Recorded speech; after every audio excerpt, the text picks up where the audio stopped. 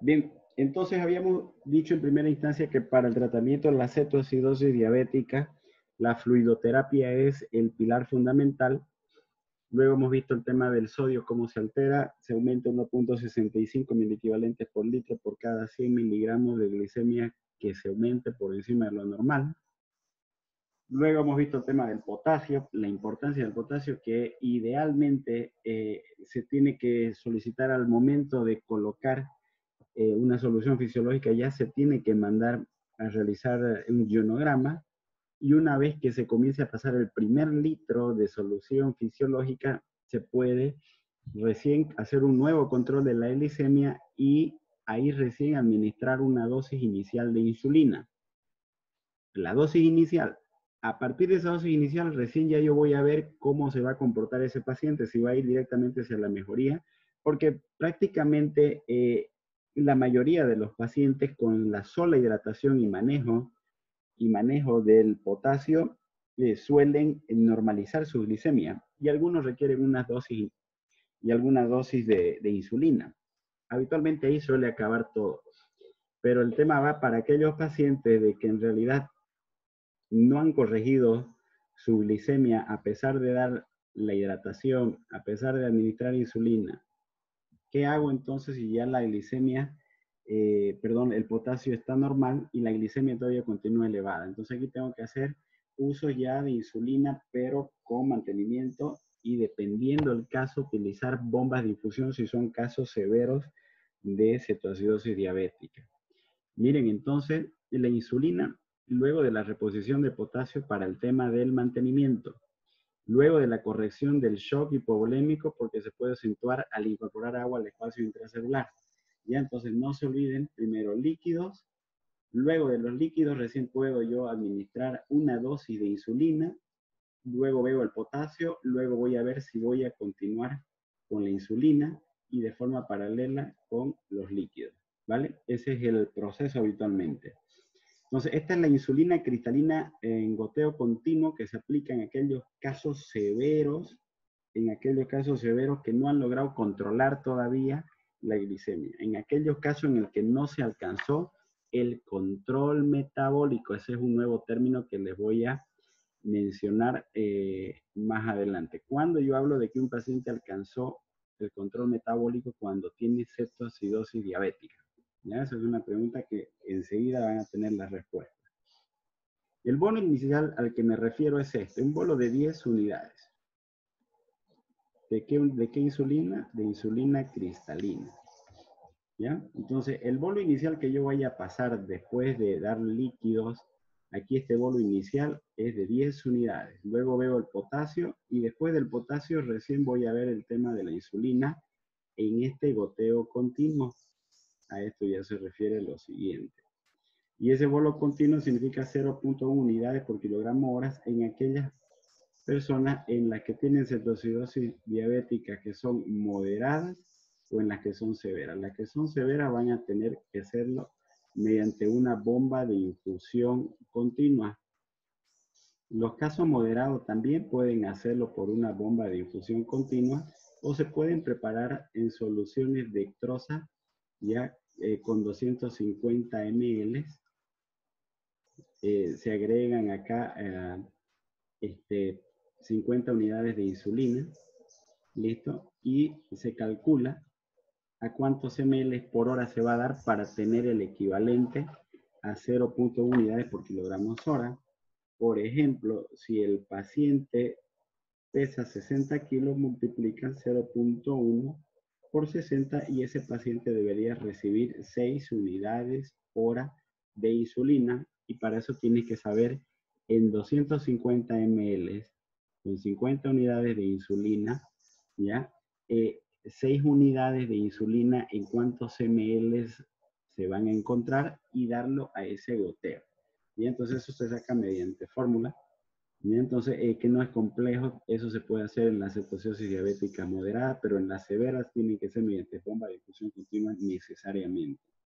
De acuerdo a eso, estamos ya aquí, de aquí en adelante, vamos a hablar en los casos que, son casos severos y que estén con bombas de infusiones o que estén también en los casos moderados con soluciones periféricas o soluciones por vía venosa central, pero que no sean bomba de infusión. En estos casos tengo que hacer los controles de glicemia cada hora. ¿Listo? Cada hora se hacen los controles de glicemia. Y habitualmente me tiene que reducir a esta dosis que hemos visto acá, me tiene que reducir 70 miligramos la glicemia cada hora. Entonces aquí dice, si se mantiene la, infusión de la insulina a este, a este goteo, a esta cantidad de insulina, si, si la glicemia comienza a disminuir más de 70 miligramos por decilitro. Si no disminuye menos de 70, entonces tendré que duplicar la dosis. Ya no será 0,1, será 0,2 unidades kilogramo hora.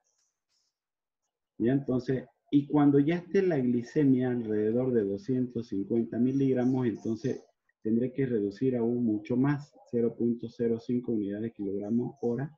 Y de ahí ya voy viendo cuántos son los requerimientos de insulina en 24 horas. Y esto lo hago con el afán de saber, por decirle, se hace el recuento desde las 6 de la mañana de un día hasta las 6 de la mañana del otro día. Acá comenzó el punto cero y acá el, el, punto 24 horas, digamos, ¿no? Aquí requirió 6 unidades de insulina. A las 8 de la noche, 5 unidades. Luego fue mejorando la glicemia, requirió 3. Luego alcanzó, control de glicemia menos de 250, ya requirió 1 unidad. Y al finalizar las 24 horas requiere 1. Entonces, ¿qué es lo que se hace habitualmente cuando dentro de las primeras 24 horas, que es habitualmente el tiempo que se corrigen la cetosis diabética, calculo cuánto en total de insulina requirió ese paciente. Puede ser que hayan requerido, por decirle, 20 unidades de insulina en total. Entonces, a partir de esas 20 unidades es que se saca la regla de los dos tercios para tenerlo en adelante al paciente con la famosa insulina NPH. Y entonces, significa que de 20 unidades, vamos a hacer aquí el ejercicio, de 20 unidades, los dos tercios vendrían a ser aproximadamente 14.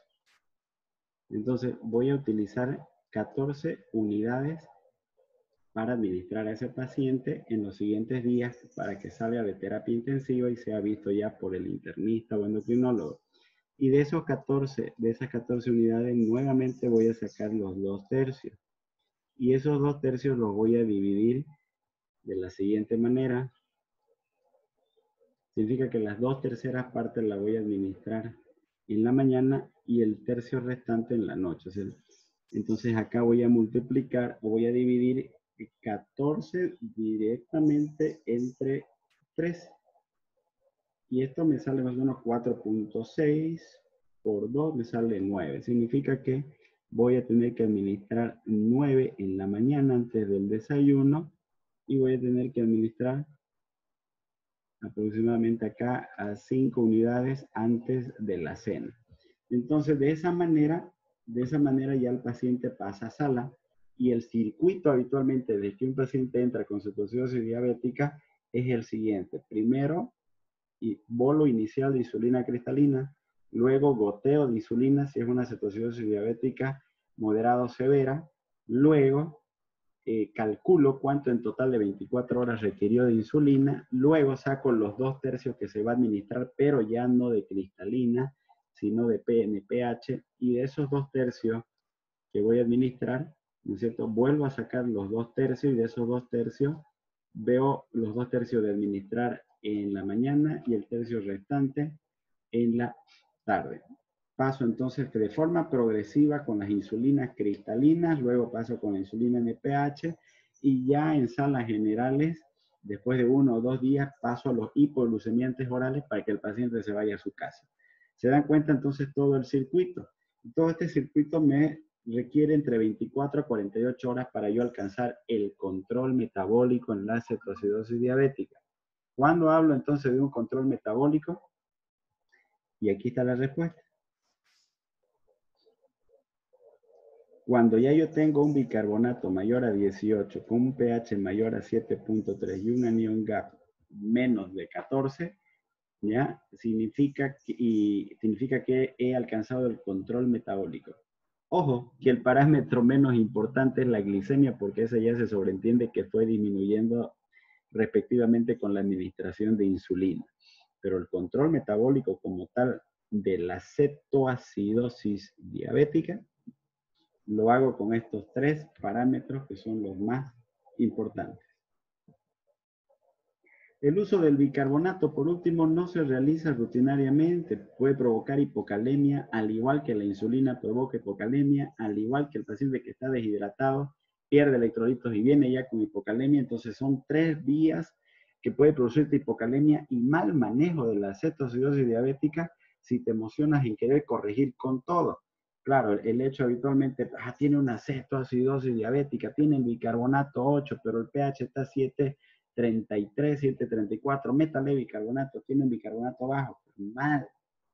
La administración del bicarbonato, vuelvo a decir, no depende en primera instancia ni del bicarbonato, depende del pH. ¿Ya?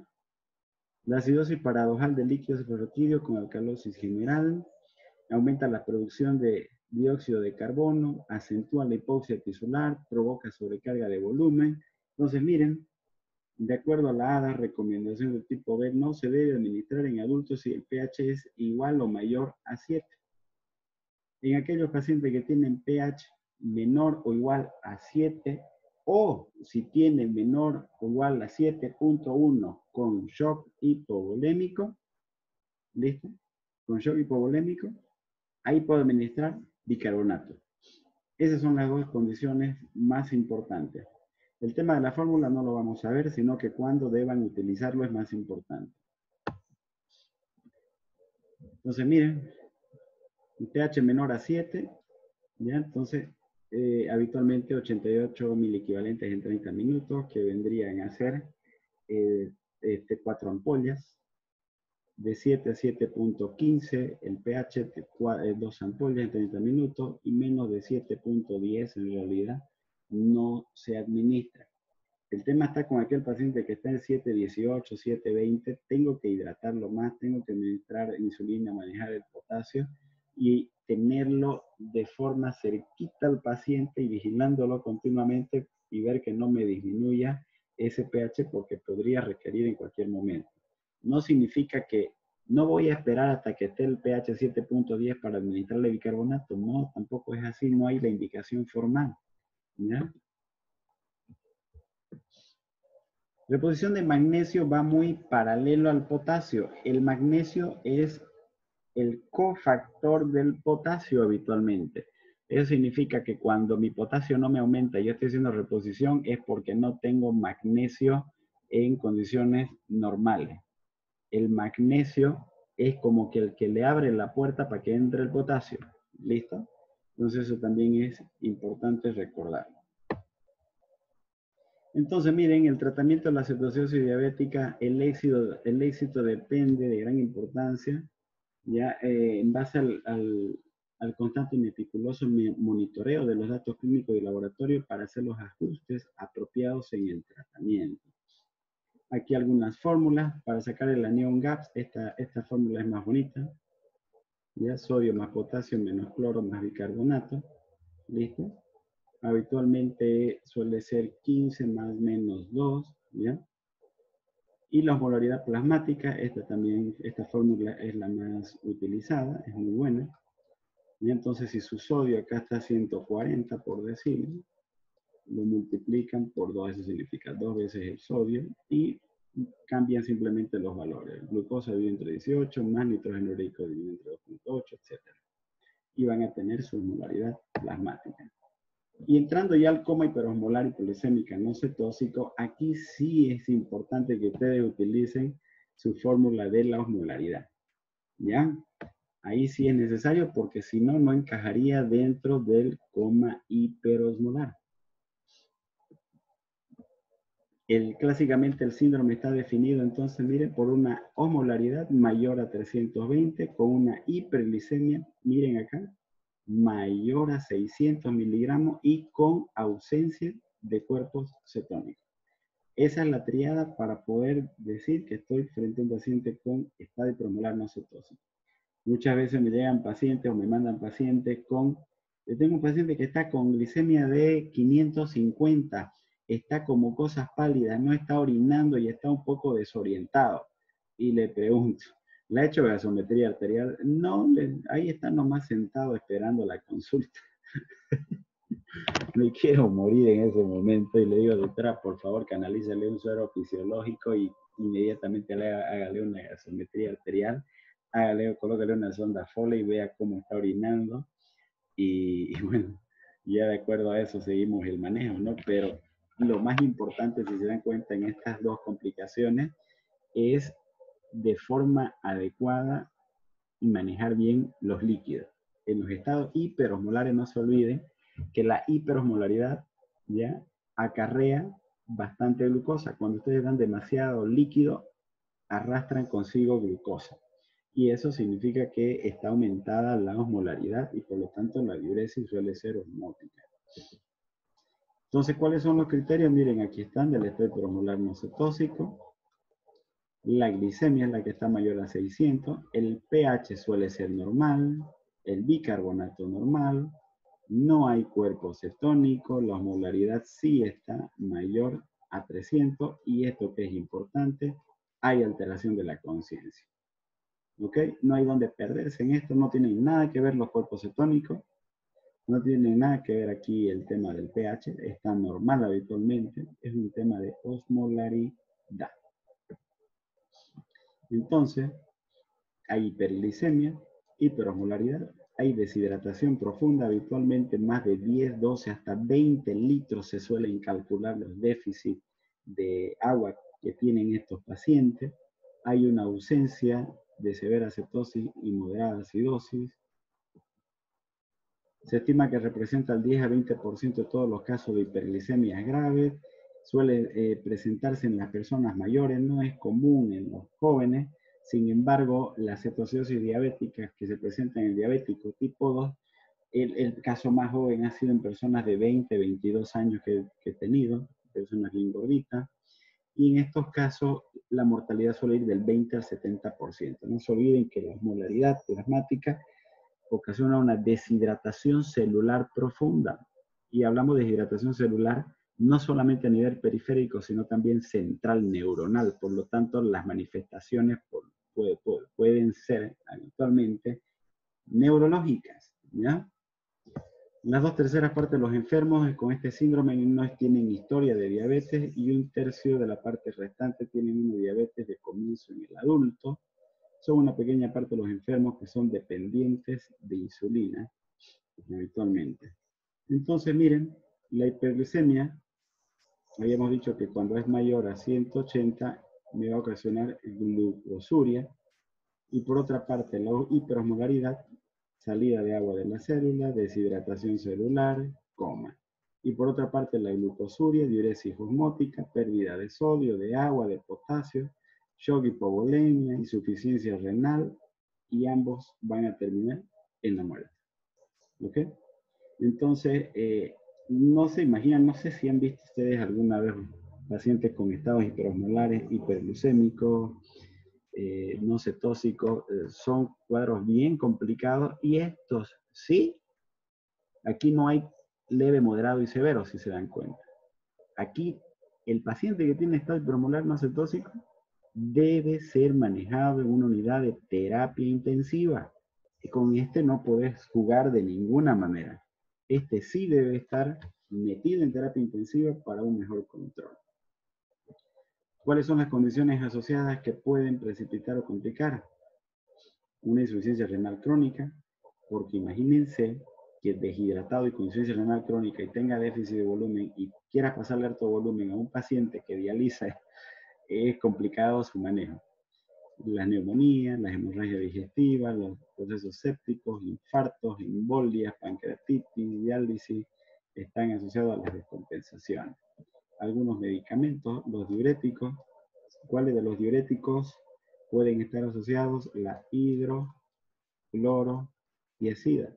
La hidroclorotiazida tiene varios efectos metabólicos y uno de ellos es que es hiperglucemiante. No se olviden. Entonces, por lo tanto, contribuye este medicamento a los pacientes hipertensos que requieren hidroclorotiazida y son diabéticos, además, contribuye a que sus glicemias estén elevadas. Por lo tanto, mucho ojo en un paciente diabético, si no requiere la hidroclorotiazida, no le den porque puede ser el medicamento que esté todo el tiempo haciendo que esté aumentada su glicemia. Los corticoides, obviamente, la fenitoína, propanolol, diazóxido, simetirina, clopramacina, los inmunosupresores suelen estar también asociados. El inicio puede ser insidioso durante varios días o incluso semanas hasta que se instauren. Es de evolución al inicio subaguda, pero una vez instaurado, ¿no es cierto? Entonces suele complicar más por los desequilibrios hidroelectrolíticos. En cambio, la cetoacidosis diabética es mucho más aguda que esta otra presentación. Aquí suele haber debilidad. ¿Por qué? Porque hay pérdida de potasio y magnesio. Suele haber poliuria, polidicia, por osmótica. Hay altos datos de deshidrataciones severas con estados de hemoconcentración y alteraciones variables de los estados de conciencia. Como consecuencia de un incremento rápido de los niveles de glucosa, la producción de cetonas es ausente prácticamente. ¿Y qué es lo que ocurre? ¿Por qué en el estado hipermolar no cetósico no hay cuerpos cetónicos como en la cetosis diabética? Fácil, porque la hiperosmolaridad bloquea la lipólisis. ¿Listo? Entonces no se olviden este detalle importantísimo. La hiperosmolaridad bloquea habitualmente la lipólisis. Los ácidos grasos libres en estado hiperosmolar son menores en la cetosis diabética, lo que influye en tener menos sustrato para la cetogénesis hepática. Entonces estos pacientes están así, deshidratados severos, con hipotensiones ortostáticas o choqueados, con respiraciones profundas de Kussmaul, hiperneicos, con distensiones gástricas o paralíticos. Todos los trastornos que van a tener son consecuencia de pérdida de agua, de sodio, de potasio y de magnesio.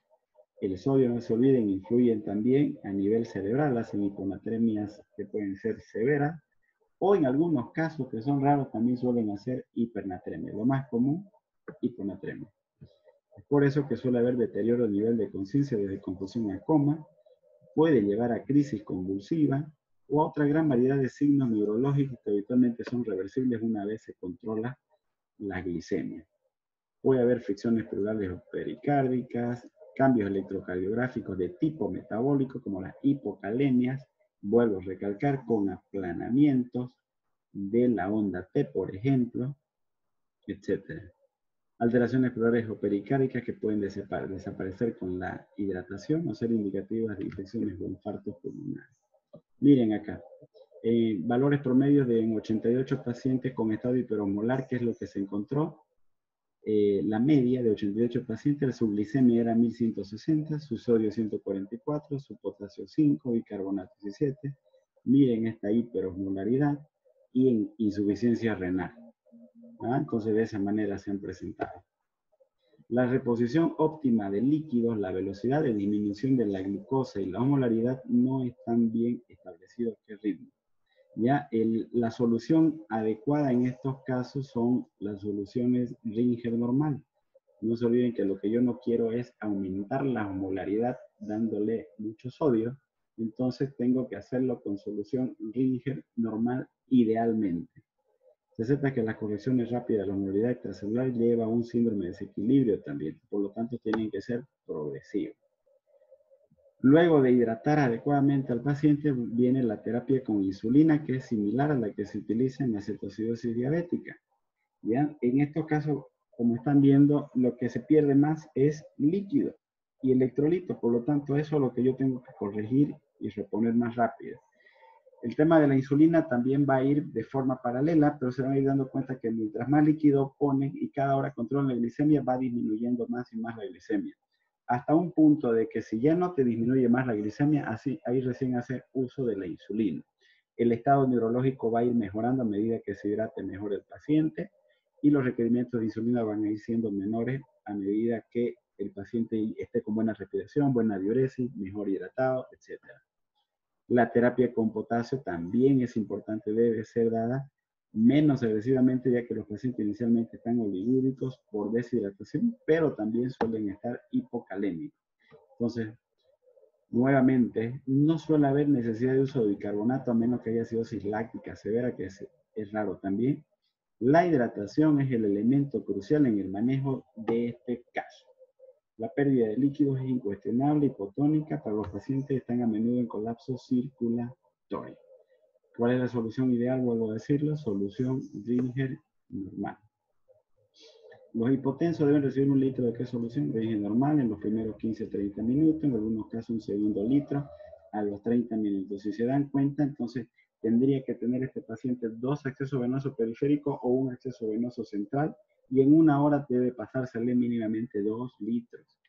En los pacientes que son normotensos, 500 ml eh, cada hora durante las primeras 4 a 6 horas. Entonces, le está pasando 3 litros aproximadamente dentro de las primeras 6 horas. Son grandes cantidades de líquido y obviamente eh, si son pacientes que tienen comorbilidades, pues tendrán que hacer una monitorización mucho más específica y vuelvo a decirlo en una sala de terapia intensiva. Teniendo mucha precaución con el adulto mayor, Siempre el tratamiento guiado por la presión arterial, flujo urinario, el peso, ver la congestión pulmonar, presión venosa central, catéter de explotación, el estado mental, etc. Durante el tratamiento los niveles de sodio pueden incrementarse, como les indiqué inicialmente, por eso es que tiene que ser con solución de normal. Eh, una vez lleguen a 250 igual la glicemia, debo pasar a, o mantener de solución rígida normal a glucosada o glucosalina, ¿listo? Para que se equilibre el tema de la glucosa y del sodio. El grado de hiperosmolaridad y la velocidad en el cual se desarrolla se relacionan estrechamente con el deterioro del estado mental. Significa que mayor osmolaridad, mayor deterioro neurológico y puede producirme cualquier tipo de manifestaciones neurológicas, desde convulsiones, simularme un síndrome meningio con un Babinski, una hiper o hiporreflexia, bilateral unilateral, hemiparesias, afasias, fasciculaciones, hemianopsia, nistagmo. Es muy variada las manifestaciones neurológicas que tienen estos pacientes y que están en la obligación ustedes de detectarlos a tiempo. ¿Ok? Muy bien, jóvenes. Preguntas, por favor, tenemos unos cinco minutos. Soy todo oído para ustedes. O si no, yo voy a ser el que va a comenzar a preguntar a todos los oyentes.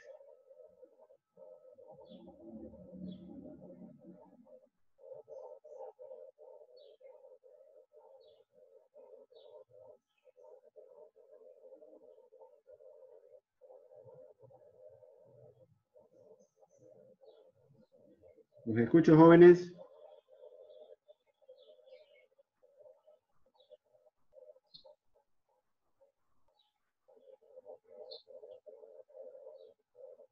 Disculpe, doctor. Ah, la alteración del coma diabético puede variar de acuerdo a la edad de los pacientes.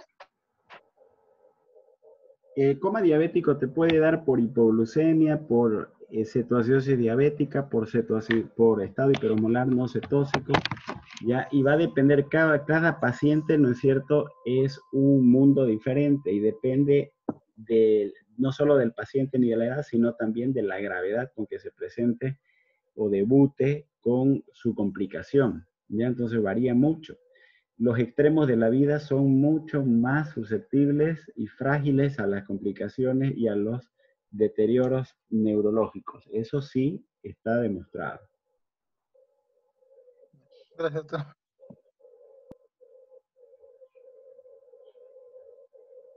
Vamos, a ver, recordando nuevamente, ¿cuál es la triada de la cetoacidosis diabética? El pH. y acidosis. Muy bien, a ver, ¿Cuáles son los parámetros que se toman en cuenta para definir una cetoacidosis diabética?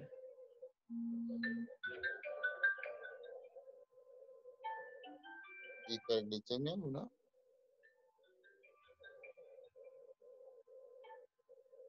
¿Cuáles son?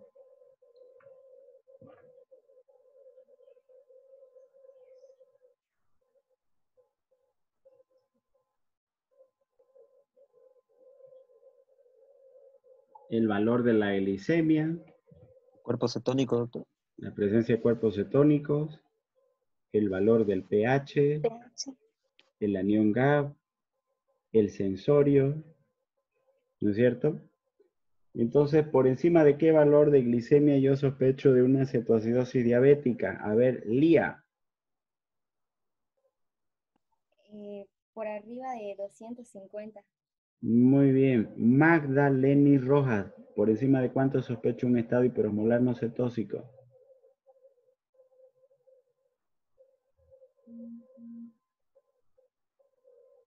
Magdaleni Rojas, ¿por encima de cuánto Dianira Paola Copacondo, ¿por encima de cuánto sospecho una, un estado hiperosmolar no cetóxico?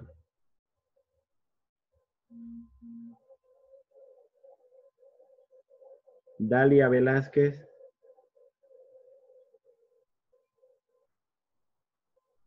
Jason Apaico.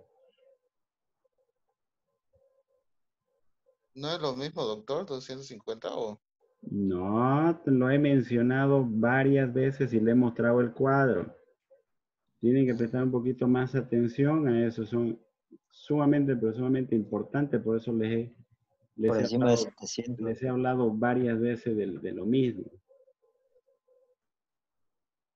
Les dije que tiene que ser mayor a 600 y le he puesto esta tabla. Vuélvanla a ver. En la cetoacidosis diabética el, el valor es de mayor a 250, pero el estado hiperosmolar no cetóxico es mayor a 600. Luida Lima, ¿por qué no hay cetoacidosis diabética en el estado hiperosmolar no cetóxico?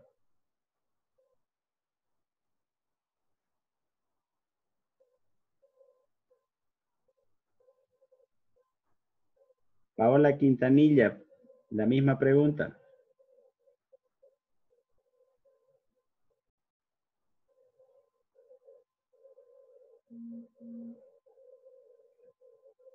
Cristian Jordán.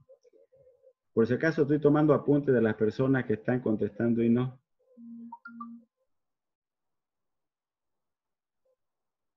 Ricardo Tapia.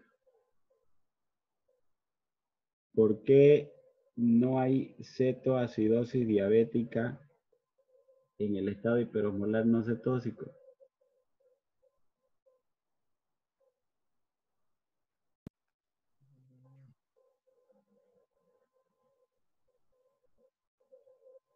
Wilber Vanegas. Sí, doctor. Yo, yo creo que por la concentración que presenta, doctor. Víctor Escobar.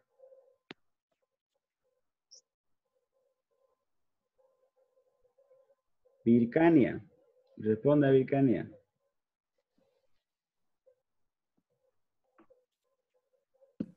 Sí, doctor. Acabo de mencionar hace unos minutos. ¿Cuál es la razón por la, el estado hiperomolar no cetóxico no suele haber cetoacidosis diabética? Eh, doctor, ¿puedo responder? ¿Sí?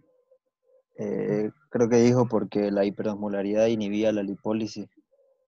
Esa es la razón principal. Esa es la razón principal, por favor, no se olviden. ¿Listo? Esa es la razón principal. Bien. La última pregunta, a ver quién pueda responder. En la cetoacidosis diabética, ¿cuándo se habla de un control metabólico?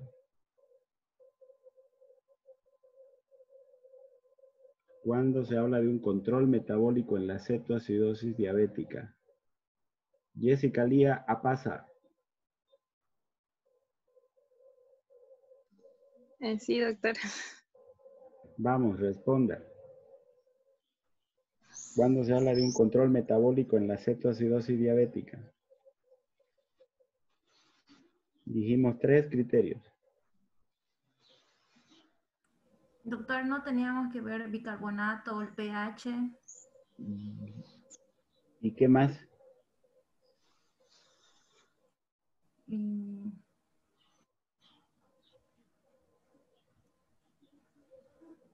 Ya, a ver, está cerca, está cerca. A ver, Si hablamos del pH, ¿cuánto tiene que estar? Para decir que yo ya estoy en control metabólico.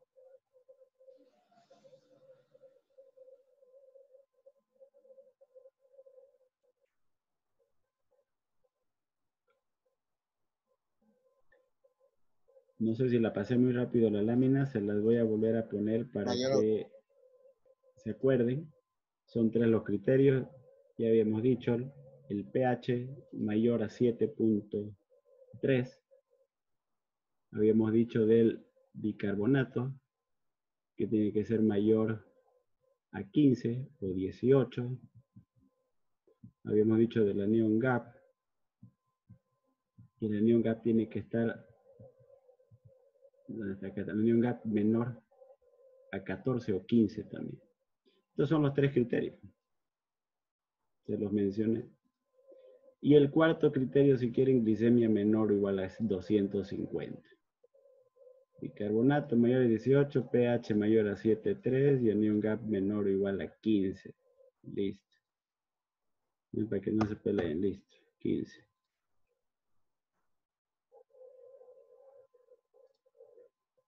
Ok, bueno jóvenes, este, por favor les pido, eh, ustedes saben cuáles son los temas que, que voy a darles, por lo tanto, para que puedan ustedes también ir estudiando. Nos falta, miren, en el tema de diabetes, la siguiente semana vamos a hablar, la siguiente semana vamos a hablar de este, hipoglucemia y de las complicaciones crónicas. Y con eso cerramos lo que es todo el bloque de diabetes. Luego nos falta paratiroides y con eso terminamos endocrino, ¿ya? Así que por favor les pido para la siguiente semana hay mucho que hablar de complicaciones crónicas